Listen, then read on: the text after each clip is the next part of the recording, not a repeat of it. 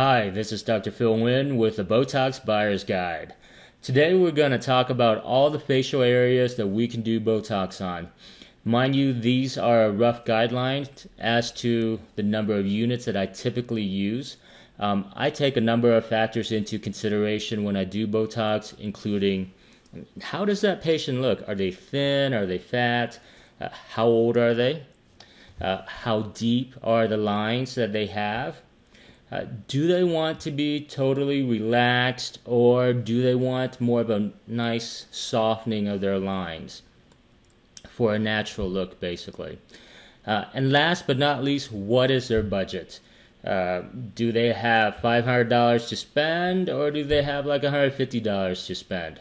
So let's go over briefly the 12 areas that Botox can be used in. Starting from the top, the first area I do Botox in are the horizontal forehead lines that are above the brows. Typically, they respond very well to Botox, and I'll use anywhere from 6 to 12 units. This is the area that I have to be the most careful with because if you Botox this area, area too strongly, uh, patients will often get a brow droop, meaning that uh, it's the same muscle that lifts the eyebrows, and if they can't lift their eyebrows, uh, their eyelids will actually feel heavier. Now, this is different than um, the eyelid droop that can sometimes be seen uh, as a complication when we do the glabellar area. The next area we do are the glabellars. And typically the glabellars are the 1s or the 11s or the 111s that are seen between the eyebrows. Uh, it's a very, very strong muscle and I will do anywhere from 12 to 30 units. Uh, 12 for younger patients, 20 is probably my average that I do, and 30 units I probably say for men who have really, really strong glabellar lines. After that, the next area would be uh, a little bit of lifting at the edge of the eyebrows here. We can put, we can place two to three units on each side that will help lift the brows and cause a little bit of this arching that women often like. The crow's feet are next. And crow's feet, I'll do anywhere from 4 to 12 units on each side. The manufacturer, uh, Allergan, recommends 12 units. And when you do 12 units, you get a nice effect and it'll last about 3 to 4 months. Doing less amount of units, like 4 or 8 units, will give a nice softening uh, and typically won't last quite as long just because you know we smile so much and the crow's feet come back the quickest out of most of the areas that I do. Some patients ask for a tiny bit of Botox, like about one unit right underneath uh, the eyelids here, the lower eyelids. And what this does, is it weakens that muscle because when you smile, a lot of Asians, um, they have this like bunching of the muscles there. It can relax that muscle as well as open up the eyelids a little bit. Um, I sometimes don't like this area just because it weakens the muscle of that uh, of the under eye and can sometimes uh, cause or make it easier for the fat pads of the under eye to protrude out. Now, the sixth area that I do uh, are the bunny lines. Uh, you know, when we smile, some people scrunch their bunnies and they get these kind of almost vertical bunny lines. And you need a small amount of units, typically about two to three units on each side, uh, will help with those bunny lines. The next area below that would be the gummy smile. And Botox is typically done right at where the corner of the nose is and where the nasolabial folds meet. Uh, about two to three units on each side will uh, impair the muscles that lift the mouth or the, the upper lips up when you smile. Uh, it works great for patients that have that gummy smile. The eighth area I do Botox in are the vertical lip, lip lines. Now, this is the bane of many, many women, especially as they reach over 45. Uh, these lip lines, uh, they're called smoker's lines. You don't have to smoke to get them, but many women have them, and typically I'll do about four to six units on the vertical lip lines altogether. Now, lip lines don't last very long. The the Botox and the lip lines don't last very long because we talk, we eat, uh, and sometimes uh, it can impair your ability to say the R sound or the P or the B sound. Uh, it's not that significant, and many women do that without any impairment in their speech.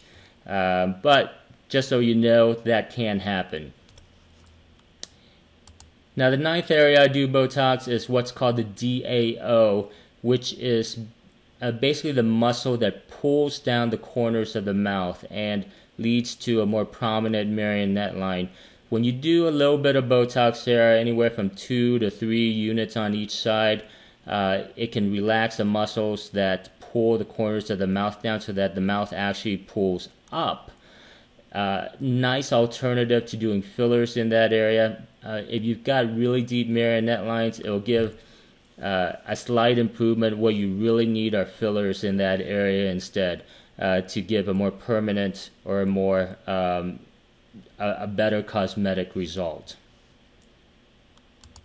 Now, the tenth area I do Botox in are uh, what's called the masseter muscles, and that is and, and those are the muscles that we use to chew foods.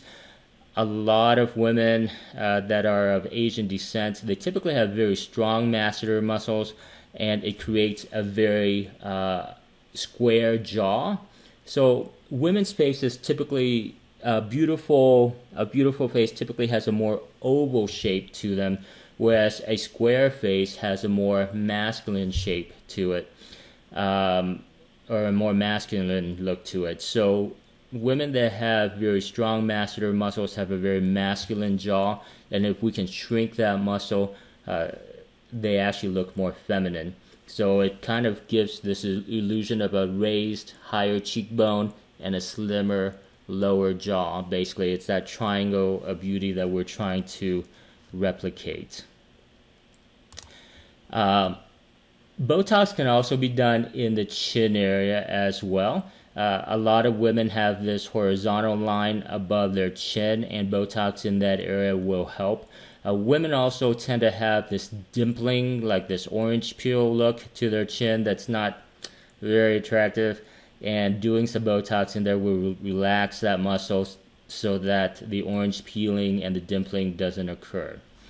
And last but not least, in the face, um, I often do Botox in the neck bands that go from uh, the bottom of the chin here down the neck. Uh, typically is seen in thinner women, more athletic women uh, that don't have a lot of fat underneath their skin. Botox in those areas can actually uh, impair the ability of the neck bands to look so um, uh, protruding from the neck. Last but not least, the longevity of Botox is dependent upon a few factors. Uh, first off, younger patients, Botox will last longer. They tend to use less units. Um, less units will often soften the lines as opposed to a total relaxation of the, of the muscles, so the patients appear more natural and less frozen. Uh, using less units also means that uh, the Botox will wear out quicker There'll be a shorter duration of action for the Botox. So when you use a full amount of units, it's going to last longer. It'll last that full three to four months uh, before you start seeing the lines come back. And last but not least, uh, when you use Dysport instead of Botox, you want to multiply these units by a factor of three. Anyways, thanks for tuning in with us at the Botox Buyer's Guide. We hope to see you soon. Take care. Bye bye.